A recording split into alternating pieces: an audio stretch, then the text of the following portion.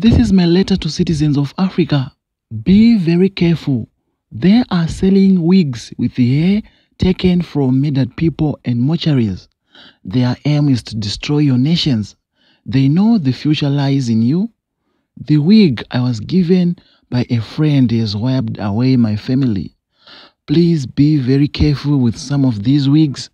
Some of the week's papers are written. Yellow viewers, welcome to another educative episode of African Confessions HD, right here on Extraordinary Africa. If you're still new in this show, we publish lifetime confessions. I usually you publish anonymously for their own safety reasons.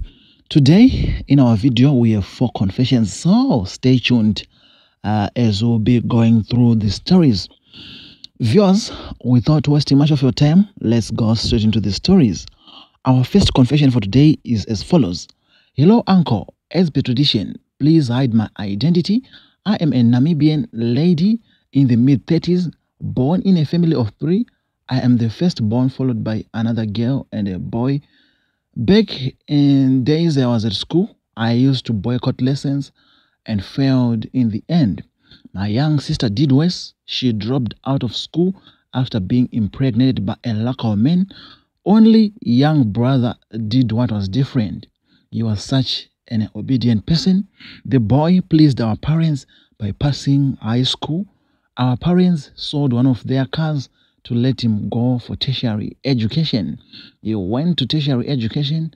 At tertiary education, he met this girl. They fell in love. The girl was doing tourism and hospitality. My young brother was studying medicine. They finished and graduated. After graduation, he paid lobola. They then planned for a wedding. The day came. At the wedding, I met one of the sister-in-law's former classmates at the university. We spent the whole day talking general issues. She lagged me and offered me a job to work in a motel. The young lady was a manager of a group of motels. She was from Colombia, came here for tertiary education, finished and find a job here. I can't wait to start my work at a motel. After the wedding, I went to the house of the lady. The following week, I started working at one of the motels in town. At that motel, most of the visitors are from South American countries. I worked there for almost seven years. On the sixth year, the lady was transferred to South Africa. A farewell party was organized. My brother and his wife were also invited. At the farewell party, she gave us wigs as remembrances. The wigs were so nice. They were made of a mixture of real human hair and other materials. The wig will be in a blue packet. It's written Shitanchi. The following week, the lady left the country. We don't know she left us with problems. Of the people who were given the wigs, I think I'm the only one still alive. Two weeks after the Colombian left the country, my sister in law gone mad escaped at house and hit by a lorry. One of my workmates who was in attendance passed away after a short illness. Fear increased when I received a message that the Colombian lady died hours after arriving in South Africa. As of me, I started dreaming at the graveyard searching for the owner of the year. I dreamed the same for weeks. I told my family all what was happening. My brother hired a sangoma. The wig was burnt to ashes. The following day, my brother died after a short illness. The previous night, I dreamed being chased away by an unusual feature. There was a voice I used to hear at the graveyard. It said, Why did you burn me? It threatened to wipe off my people. Recently, we are waiting for my half brother's body. He died in United Kingdom after a short illness. I don't know what to do. Most of the sangomas we are consulting are saying the wigs are made of real human hair. The air is from murdered people. They are saying the spirits are too powerful for them. Guys, I am in hot soup. My family members are dying every time. Some family members are blaming me. I am thinking to commit suicide. I know I'm innocent. Please, guys, be careful with these wigs. I am regretting. Maybe if I pray all the time, I was going to be saved. Hi, everyone. I don't know if it's my place or not. So I grew up in the same neighborhood with this guy. Our mothers were best friends. They were all single moms taking care of their children. Sometimes, when my mother was out with work, we could be staying at their house. If their mom was out, he could be with us and their little sister.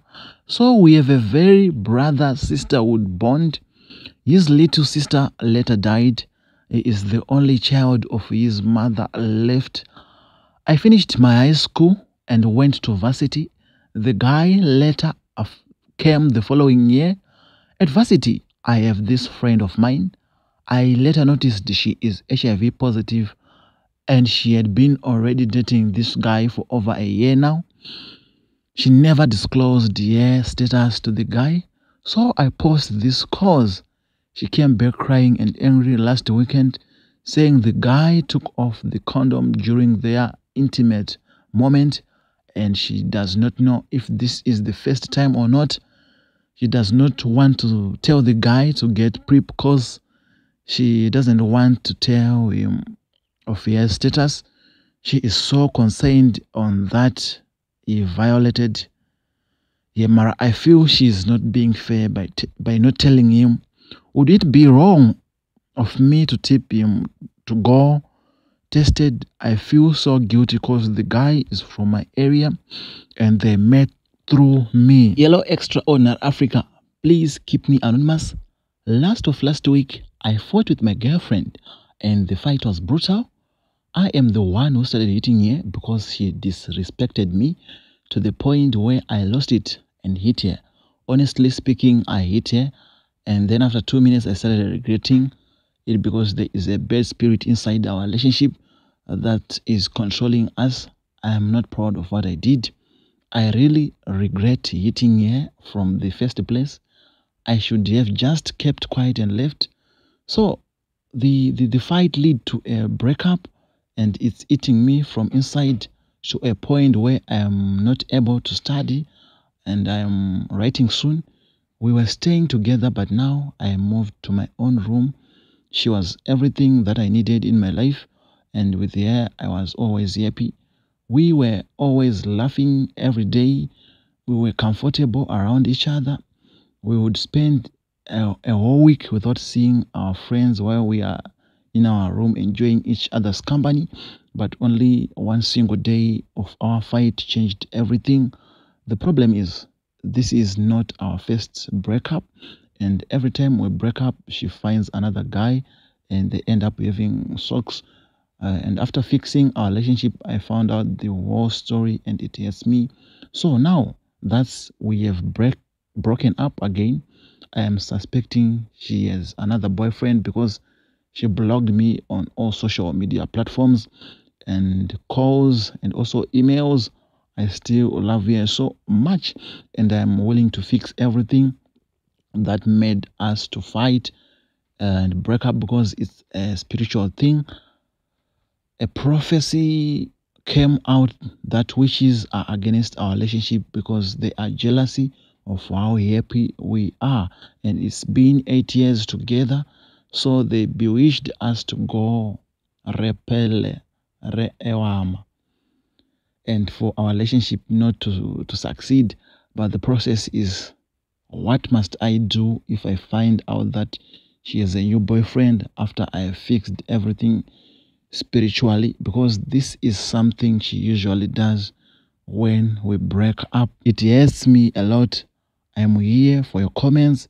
You can even comment in a paragraph. I don't mind reading. Yes, thank you so much to everyone who confessed today we have learned from your stories.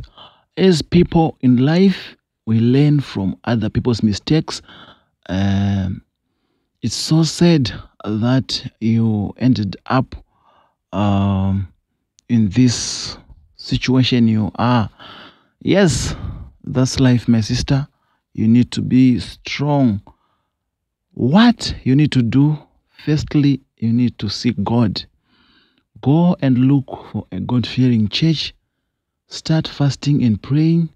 Take your time. Go to mountains. Spend at least a day praying and fasting as you say you are innocent. And maybe the person who gave you the wigs, she was also innocent because maybe it might be from the the producer.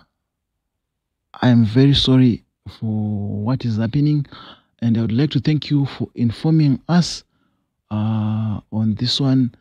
To every person who was tuned in today, that's a story to share to your family and friends. It's a warning from our sister who is experiencing bad time after using a wig. It's so sad. Is the world coming to an end? Guys, what's your view on this one? Is it the is is this the end? Let's comment deep down there. To the second confession, what she was saying about what she was saying about let me check, let me check. I'm sorry, I'm sorry, I'm sorry, guys. Uh, let me check, let me check, let me check. There's this one was saying, yeah. Okay, there's this girl, my sister. You have to tell that guy you grew up staying together, your mothers are best friends. For the sake of your mother, tell the guy, you know, he is the only child of his mother. Uh, maybe you love the girl as she is. Don't remain quiet. Maybe he's now HIV positive.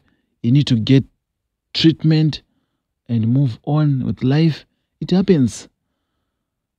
It happens in life. To the third confession, okay, Mr. Man, that's not it. You should we should not beat ladies. It's not right. You need to find someone who can be a mediator between you, trying to bring you to a a round table, sit down, plan, then learn from your mistakes. That's life. We have to move forward. Thank you so much, viewers, for tuning in to Extraordinary Africa. And this is a prayer to do wherever, whenever you are. God, sometimes I struggle to give myself grace. It can be hard to forgive myself for things I've done, but I know that you have forgiven me. And because you have forgiven me, I can forgive myself. I also sometimes struggle to understand your truth. As I grow closer to you, help me to also draw near to your truth. In Jesus' name I pray. Amen. That was Solution Angle for you. Thank you so much. Bye for now.